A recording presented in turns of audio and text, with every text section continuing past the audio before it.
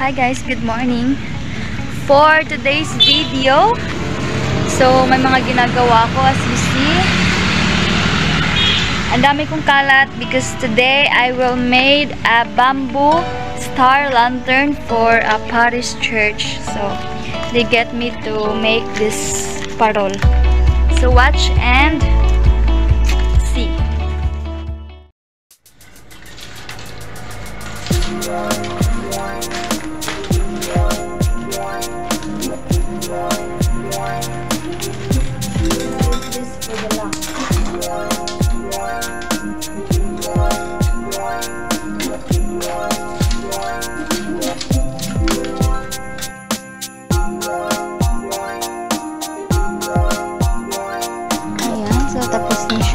Tapos tapos, ko na siya gawing star. It is 4 star in equals.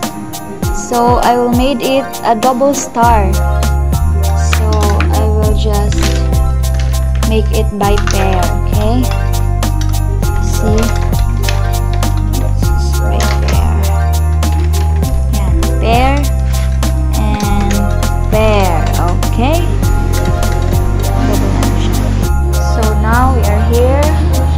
Gawin natin, magka-cover na tayo sa star natin para magmukha siyang maganda at kaayos-ayos. Kasi, sa church po ito i-design.